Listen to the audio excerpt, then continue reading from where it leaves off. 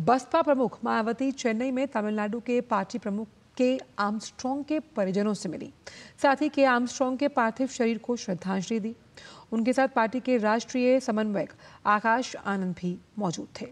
के आर्मस्ट्रॉन्ग का पार्थिव शरीर सार्वजनिक श्रद्धांजलि के लिए पेरम्बूर के कॉरपोरेशन स्कूल मैदान में रखा गया।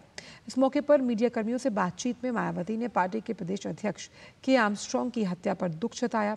इस हत्या को लेकर मायावती ने तमिलनाडु की डीएमके सरकार को घेरा। पाँच जुलाई को पेरम्बूर स्थित उनके आवास के पास अज्ञात हमलावरों ने बेरहमी से के आर्मस्ट्रॉन्ग की हत्या कर दी। जिसके बाद बसपा प्रमुख मायावती ने सत्तारूढ़ डीएमके सरकार से दोषियों को दंडित करने की मांग की।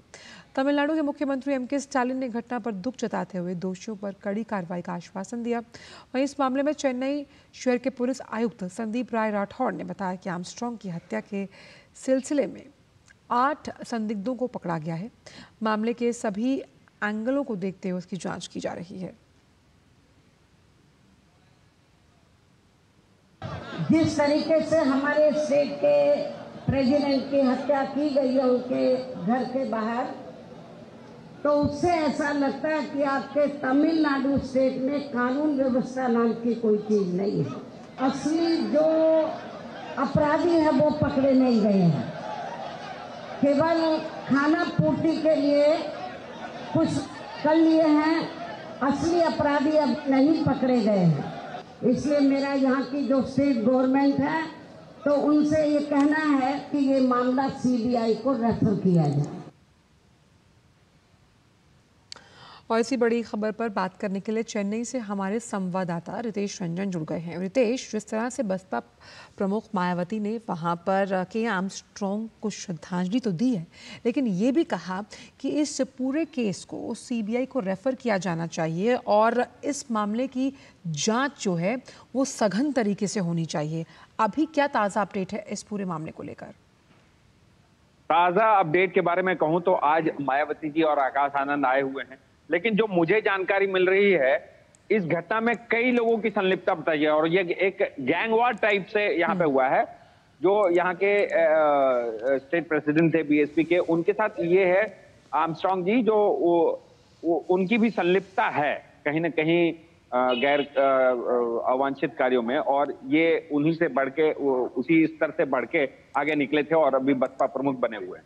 तो ये इनका पुराना कोई रंजिश का मामला सामने आ रहा है जहाँ तक मुझे जानकारी मिल रही है अभी और इसी पुरानी रंजिश के कारण ये हमला उनके ऊपर हुआ और उनकी मौत हो गई है हम्म। और जहाँ तक आप संदीप राय राठौर जी की बात कर रही थी तो कल उन्होंने एक प्रेस कॉन्फ्रेंस किया था जिसमें उन्होंने कहा था कि पिछले साल के मुकाबले इस साल आ, काफ़ी कम हुई है हत्या की घटनाएँ जबकि उसके उलट जब पत्रकारों ने उनसे सवाल किया कि हमारे पास जो आंकड़े हैं वो आपके आंकड़ों से मैच नहीं करते हैं हम्म। तो उनका कहना था कि ये सरकारी आंकड़े हैं। जबकि अभी तक में पिछले साल के मुकाबले देखा जाए तो अभी तक में हत्या की घटनाओं की संख्या पिछले साल के मुकाबले अभी जून जुलाई तक में ही काफ़ी अधिक हो गई। जी। तो ये गंभीर बात है सोचने के लिए और इससे पहले भी आ, मैं पिछले महीने की बात करूँ तो यहाँ भाजपा के एक कार्यकर्ता की दिन दहाड़े हत्या कर दी गई थी। तो ये घटनाएँ और कुछ दिन पहले तमिलनाडु के एक ज़िले में ये अंतर जातीय विवाह के कारण हम्म। भरी दोपहर में दंपतियों पर हमला किया गया लड़की के परिवार वालों के द्वारा। तो ये घटनाएँ अब तमिलनाडु जो सेफ़ सिक्योर दिखता था हम्म, हम्म। और पुलिस शासन व्यवस्था जो हम्म। मज़बूत दिखती थी कि लोगों के मन में डर है भय है तो वो अब दिखता नज़र नहीं आ रहा। बिल्कुल तो पेशे से वकील और दलित राजनीति में सक्रिय रहे के आर्मस्ट्रॉन्ग जो कि तमिलनाडु में बसपा के चीफ थे उनकी निर्मम हत्या हुई है। हालाँकि सीबीआई जाँच को लेकर लगातार बसपा सुप्रीमो कह रही है लेकिन अभी भी बहुत सी ऐसी बातें हैं जो सामने निकल कर आएँगी इस पूरे हत्याकांड को लेकर। बहुत बहुत शुक्रिया रितेश इन तमाम जानकारियों को हमसे साझा करने के लिए।